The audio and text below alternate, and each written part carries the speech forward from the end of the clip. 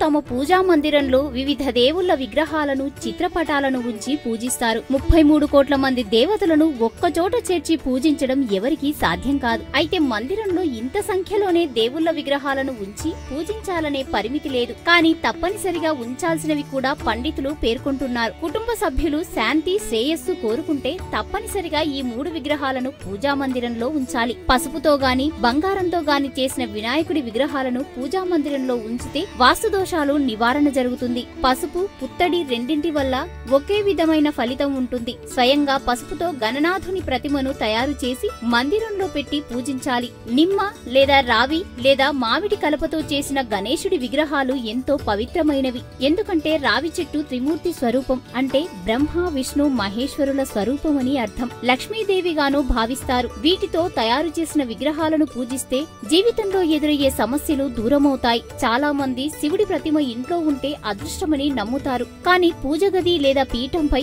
ఎప్పుడూ ఒకే ప్రతిమ ఉండేటట్లు చూసుకోవాలి. రెండు లేదా అంతకంటే ఎక్కువ ప్రతిమలు పూజ గదిలో ఉంటే మీ శక్తిని అడ్డుకుంటాయి. ధాన్యంలో ఉన్న శివుడి ప్రతిమ వల్ల సహజంగా ప్రశాంతమైన శక్తి లభిస్తుంది. నృత్యం చేస్తున్న నటరాజు రుద్రరూపానికి ప్రతీక. ఇది చాలా శక్తివంతమైంది. దీన్ని మినహాయిస్తే దూకుడు స్వభావం తగ్గుతుంది. ఓం గం గణపతయే నమః.